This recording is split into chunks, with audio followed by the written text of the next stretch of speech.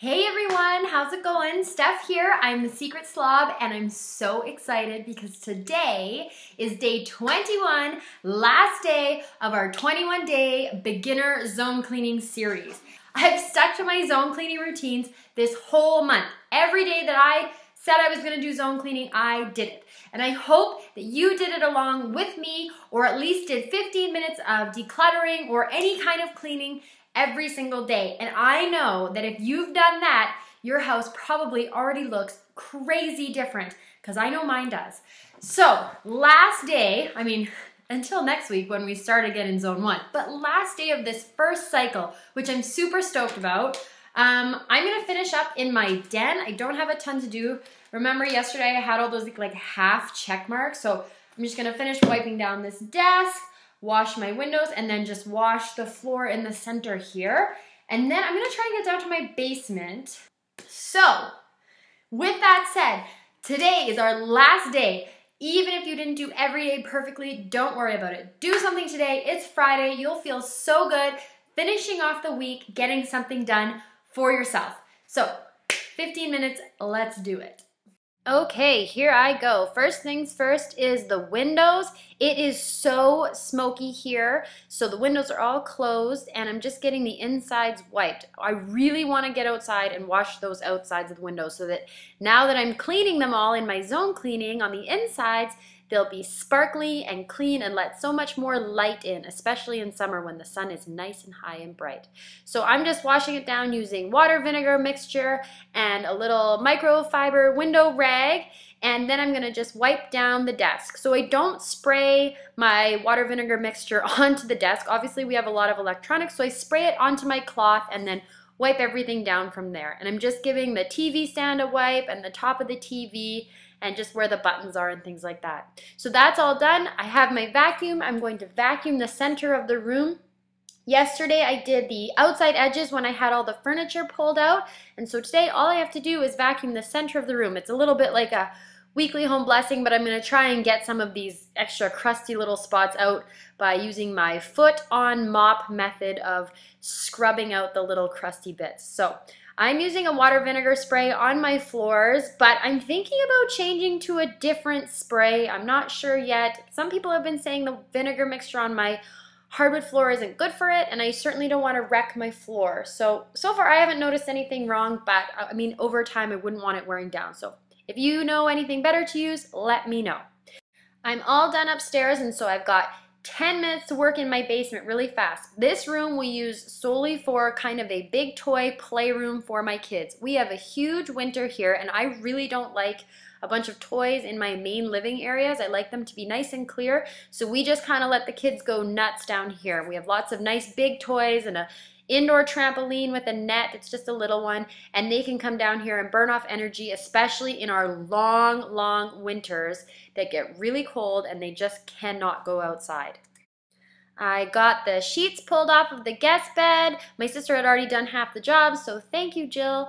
And so now I'm just moving the toys around, trying to vacuum underneath everything, vacuum all the areas. There's lots of little feathers from feather pillows down here and duvets and just lots of crumbs because even though they're not really supposed to bring snacks down here, somehow crackers always find their way into every room of our house.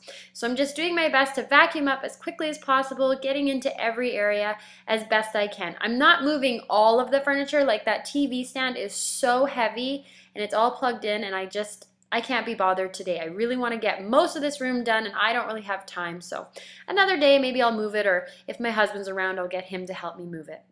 So just finishing up with the vacuum, the other thing we don't have in the basement is baseboards or trim yet, so there wasn't even any dusting to do. So lucky me, one day that stuff will all be in and I'll have to clean that too. But for now, it's a win with just vacuuming. All right, that's it. So I got my guest sheets pulled out of there. My sister had done it, so I only had a couple pillowcases. I got the floor vacuumed and we put the toys away yesterday. I know I didn't do it during my 15 minutes, but we were down there. It was really hot out, so we just kind of did it and hung out. No big deal. Um, and then I got the furniture dusted. So pretty much everything. I do have a bathroom down there that I added to my list that I need to clean, and I didn't get to vacuuming the guest room. So not quite finished, but I did pretty good on this list.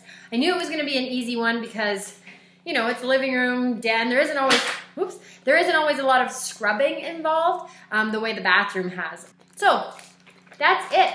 I am giving myself a giant pat on the back, and you should too if you've been following along with me, or even if you've made any progress, or even if you've just started. This is by far the most consistency I have ever had with cleaning my house. I think my record prior to this was maybe a day and a half. So, cleaning my house consistently for a whole month, even though it was only 15 minutes a day, I have never stuck with something this long. And trust me, I was the slobbiest of all slobs. Like, I'm sure if we ever got my husband on here and you met my mom, they would give you crazy stories. It was bad. I don't know about you. This was the one thing I was a bit hesitant about because the deep cleaning thing is the thing I really dislike the most. But when you put it with a timer and you know it's just 15 minutes, I mean, come on, you can do anything for 15 minutes. And, you know, blast a little bit of music in your ears or listen to a podcast, it's gonna go by like that. So I really enjoyed it in the end, and that was surprising for me.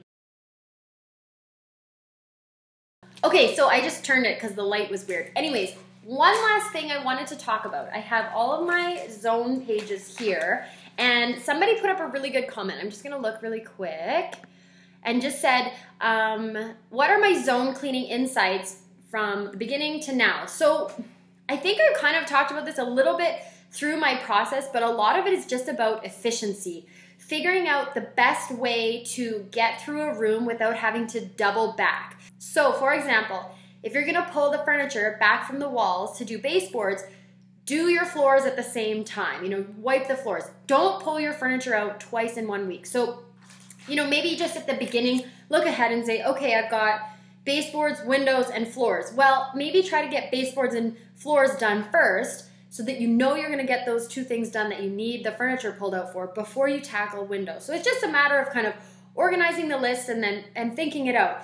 So linking so linking tasks was a big part of the zone cleaning. The other thing I learned, my other big insight was stop when the timer stops. At the beginning, um, I would be on a roll and I'm cleaning. I'm like, yeah, I'm getting this done, and the timer would go, and I just think, oh, I want to keep going.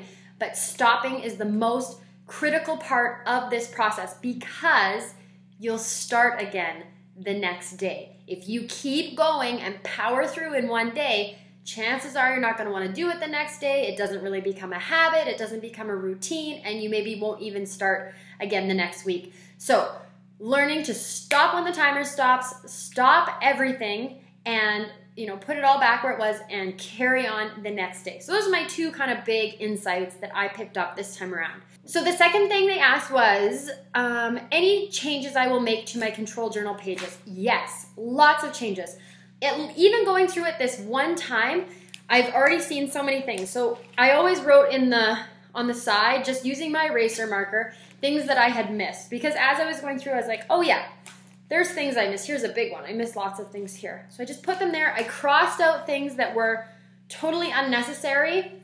So now if I want, I can rewrite my zone list. So you might not want to do it after one round of zones. You might want to do it after two rounds because then you've already been through the whole list and you'll have all of your edits.